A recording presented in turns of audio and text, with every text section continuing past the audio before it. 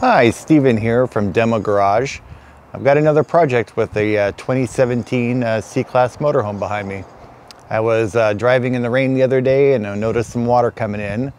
And when I investigated, uh, it was actually the seal between the Ford cab and the motorhome box. So let's take a quick look at that. So somehow these two make a connection and uh, let's go inside and take a look at what that might be. Well, here's the joint I was talking about. Um, as you can see, I only got the idea to start recording this about halfway through. I've already taken everything apart, so you'll have to just see me putting it back together and, uh, and the modification I'm gonna make to try and fix this leak. So what we have here is I have removed, obviously, the uh, the cushions, the bedding. Um, I've removed the uh, parts of the headliner, things holding the headliner on, the uh, courtesy lamp, the, the visors, and some trim pieces. You'll see me put those back on so you get an idea of where those go in the reinstallation. So this is the upper bunk and the leaking that I was telling you about I had initially thought was coming from this uh, overhead um, light vent. And as it turns out like I said before it's the joint between the cab and the uh, sleeping bunk. So here's what it looks like. So what we have here is the portion of the cab from Ford. This is the sheet metal and it was trimmed along this edge and then um, there was an attempt to do some bonding. I'm not sure if this is from the uh, RV manufacturer or if this is some repair done in the past, but um, this sandwich portion up here is part of the uh, RV conversion and then this is the original Ford. Um, it's my opinion that the leaking was somehow working its way through uh, in between the two. The seal has failed and it's a pretty poor quality job. Um, you can see the sheet metal doesn't conform, it's buckled. The screws are in a, a state uh, not a lot of those have backed out so much, but they're all in a poor state and some over here actually have backed out. So this is the condition I find it in. And in the next image, I will have uh, removed those screws and to try and separate the original Ford sheet metal from the uh, cab bunk and to see what is going to be needed to throw a new sealant in there before I put the reinforcing plate. All right, I'll see you soon. Okay, I've got the uh, screws out. Here's another quick look. And uh, I'm not seeing a lot of daylight through this portion, but uh, definitely my the source of my leak this is where it was coming in. Um, you can see, see, right the camera just right, you can see some, some daylight there. And uh, I think the plan's gonna be to try and dig out some of this old sealant. And I've got some body seam filler to some replace. It looks like maybe there's a, a factory seal in there, maybe. You can just see the gray. Um, so this has probably been looked at before. I don't know what this sealer is, but uh, I'll try and do a better job with my reinforcement plate. Okay, this is the key to my uh, leaky seal repair. This is a reinforcement plate that I drew up and uh, had uh, SendCutSend make for me.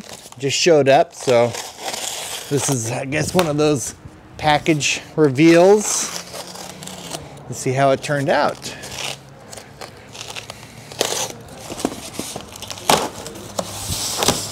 I've used uh, SendCutSend a couple of times. I was very happy with them. I just drew up this reinforcement plate.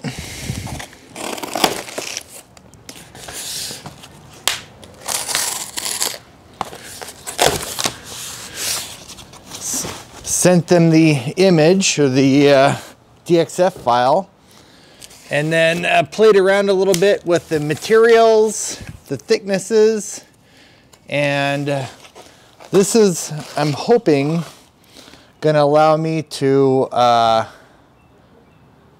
to clamp that uh, with a bunch of new screws, stainless steel this time, clamp that uh, cabin top with the bunkhouse and of course, I'm going to glue in the uh, a, a, seal between the two. And uh, I've got a, maybe twice as many uh, screws this time around, and this will help distribute the load. So I'm going to go ahead and uh, paint and prime this, and uh, we'll reinstall this tomorrow. Well, it's the next day, and I've gotten some primer on the new uh, reinforcement backing plate. Um, not that it really matters, maybe a little anti-corrosion. This is all going to be hidden underneath the headliner when I get the headliner replaced.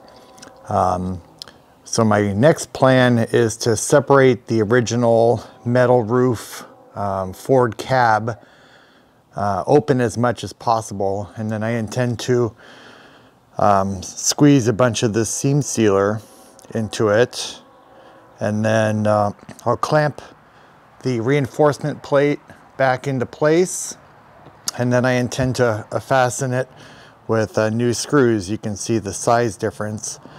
These are, uh, the new ones are gonna be number 12 inch and a quarter. And again, it's all gonna be hidden uh, behind the, um, the headliner. So let me go ahead and squeeze the sealant into the uh, cavity on the uh, cab and then I'll get the reinforcement plate clamped into place and I'll bring you back. Okay, well, I have managed to put uh, basically the entire tube of seam sealer into the uh, space between the metal Ford cab and the box. And uh, I'm probably going to let that sit up for a few minutes before I install the, uh, the new backer plate, which you can see here.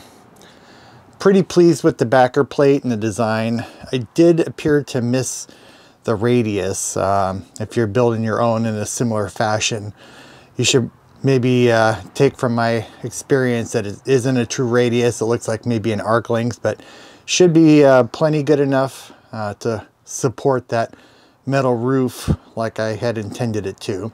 So obviously it's sitting on top right there, but you can see it will be uh, flipped below and clamped in place.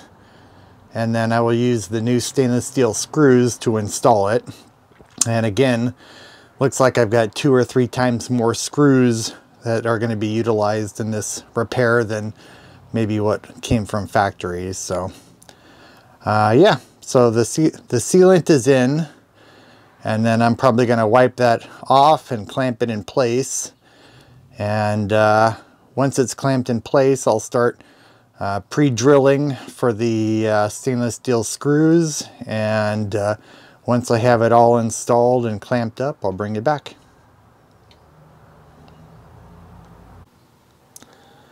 Okay, that was a lot of work. I uh, maybe didn't need to use the whole tube of uh, sealant in there because as I applied clamps, I spent the better part of a uh, entire roll of paper towels just uh, squeegeeing out the um, the sealant that comes from the joint, but I have a pretty good idea that it's going to be well well sealed now. Um, I'm going to now uh, gain access to all the little holes in the uh, backing plate pre-drill and install the uh, stainless the new stainless steel screws and I'll bring you back after that's completed. Okay, I've got all the clamps off. and the sealant cleaned up as much as I'm going to. It's all going to be from this point on hidden behind either uh, trim or headliner and I'm pretty pleased with the way it went. Um, it was a lot of work, a lot of paper towels cleaning up, but I am a 100% uh, sure that this is not going to leak in the future. So let's take a little bit of a closer look on uh, what this looks like before I put the trim back on.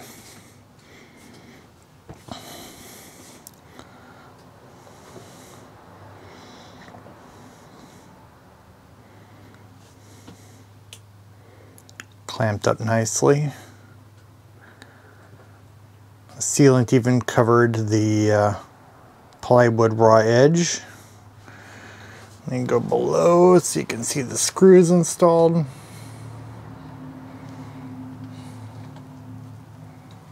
Again, this is all going to be hidden.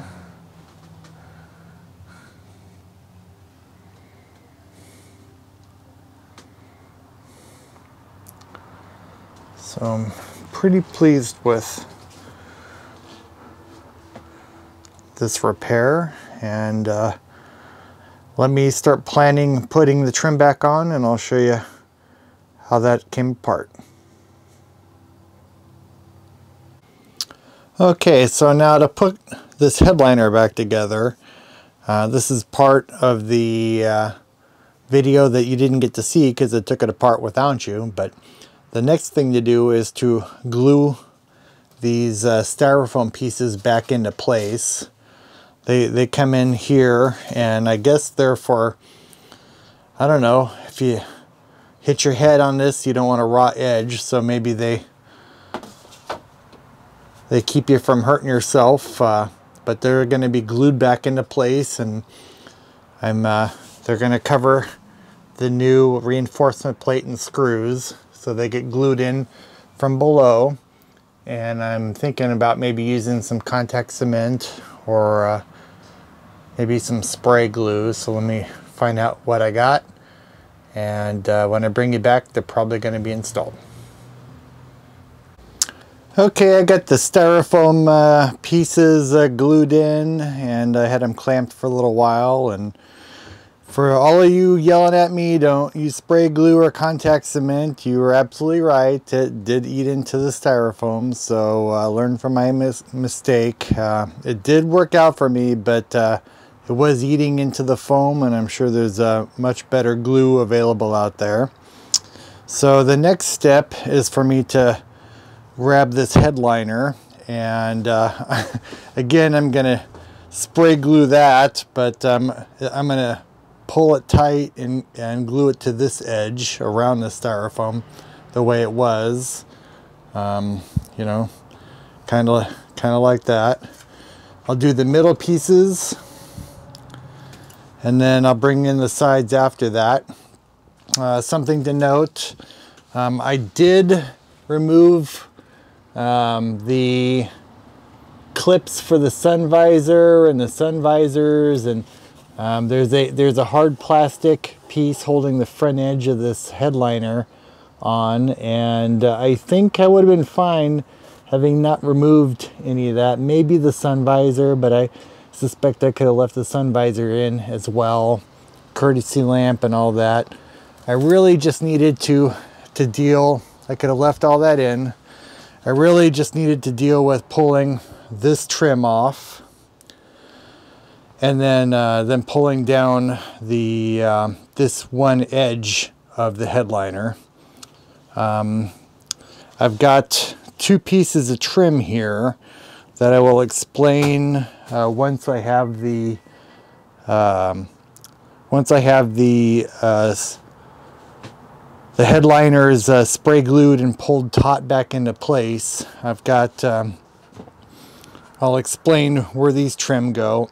And there is one little section of uh, this trim that could use a little bit of attention. Um, looks like it's still glued down decently well in some areas, but I'm going to go ahead and reglue this one edge and uh, I'll bring you back once I've got the headliner uh, spray glued and pulled into place. I probably don't even need to show you these last videos as you're probably the one to have taken apart your own rig, but I'm getting mine put back together. The headliner is reinstalled, the clips for the sun visor, the courtesy lamps. Had a few of these um, uh, for the sunshade on a, uh, on a hard plastic surface that was holding the front of the headliner. And if I back up, can see that I now have the, uh, the back of the headliner spray glued in place and it was a pretty poor fit to begin with and I have it back together. It's a little creases and whatnot, but this is actually better than it was. Maybe I'll work on it some more afterward. But the last thing to do is to put on these trim pieces. And so they work together. I've got the hard plastic one that I just glued back on. And it fits inside this one. So that'll fit down here in the side. And this one hides the screw locations. You can see one right here. So you pull this down and you have, you've got access to the screw. I don't know if you can see that or not. But uh, yeah, so I'll try and line up the uh, five or so screw holes with, um, you can see one here. Hopefully those still line up. Uh, I got a pick to try and figure it out, but uh, let me get these two installed and I'll bring it back. All right, this is the last scene. I've got it all put back together as you can see behind me. I'm very pleased with the repair and I'm sure I'm gonna have many years of leak-free use of this uh, Class C RV. Um, one quick look here, uh, as I pointed out, got the trim back on, you got the rubber piece on top with the channel and then that works in conjunction with the foam colored uh, plastic piece. And together they they hide the mounting screws. You can probably see one right there there are five screws in total and I'm sure every RV is uh, a little different but uh, since you're the one taking it apart I'm sure you can figure out how to put it back together so uh, I appreciate you uh, coming along for the ride and uh, thank you very much. This is Steven with Demo Garage.